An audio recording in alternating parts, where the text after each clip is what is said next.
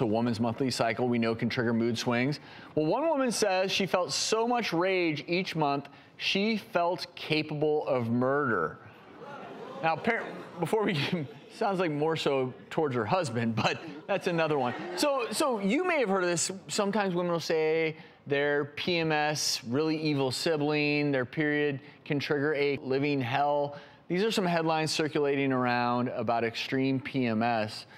Is this whole concept of period rage or extreme PMS, is that something you I mean, you, you see? see so I, I, haven't met that lady, um, but in general, in in, no, in general, they're talking about premenstrual dysphoric disorder, which impacts approximately two to eight percent of women of childbearing age. So just think about premenstrual syn syndrome, PMS, but kick that up about 100 notches, and that will land you at PMDD, premenstrual dysphoric disorder. So with normal PMS, you know, you have your bloating and your breast tenderness and a little bit of mood stuff going on. But with PMDD, it's really, really an emotional time for these women. They have at least one of the following. They feel sad or hopeless, a lot of anxiety, tension.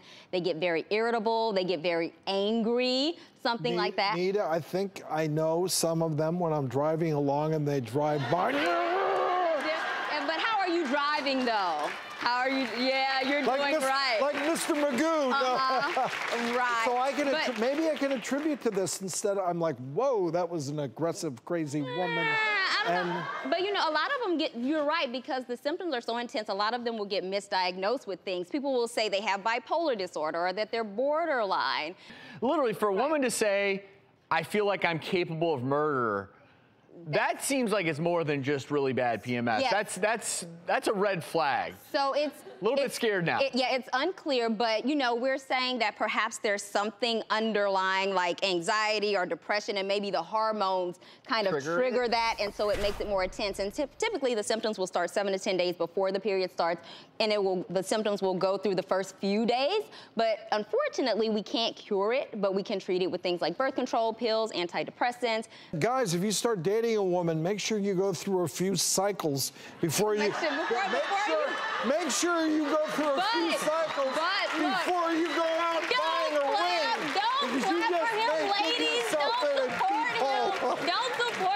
no, but you know, but what's well, everybody's different. No, I, you know, I was blessed. My wife is so even keeled. You period, better say that. But, uh, I, well, better, no, but she, yeah. even with with her period, she she it, didn't have no, bumps. And that's, and, Everybody is different. And nobody, you shouldn't be living like that. You need to talk to somebody if you know you're feeling like that because 15% of these women will try, will attempt suicide. But I will say in this particular no, case, every every case is different. But hers tends, she said it might have lasted a little longer than that time frame I mentioned. And she also was aggressive towards her husband, but she liked her kids and other mm. people. So that's a little strange to me. But every case is, every case well, is I, I want to ask you something. And first of all, I think we're going to have a new thing on the show, which is we're just going to leave a shoe near you in case you put your foot in your mouth again.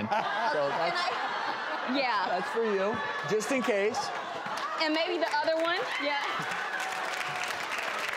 But I, I, I want to be, I want to ask you a serious question before we go to break. If someone says, literally, I feel like murdering my husband, and they blame it on this, is is that Has an, is that maybe precedent? another example of you know, maybe maybe something else is going on here. Because if you feel like murdering your husband, you love everyone else in your family, yeah, all your kids. I'm to me, it just seems like you're in a bad relationship. I, am with you. I, I, I understand. So you got to be careful with you that, do, right? You do. And the thing about it is, I do believe in premenstrual dysphoric disorder. It's a, it's a real Absolutely. thing. But bipolar disorder is a real, and it's hard. It's hard to diagnose. Uh, so yeah, you have to work through that. You can't just say, oh, it's because of my period, and then brush it off. You have to. If someone came in to you and said, Dr. Nita, every time, every time of the month I, I feel murderous, you'd have to say, wait a minute here. Call psych. Yeah, we need to we need to dig deeper here yeah. and not just give you some some hormonal medication. Right. No. Oh no, we're gonna do yeah. that. Oh, we'll clearly. give you birth control pills while you're talking to the psychiatrist yes. on the psych ward. Like not. And he not, may give you some other pills. Yeah, and not being funny or whatever. But yeah,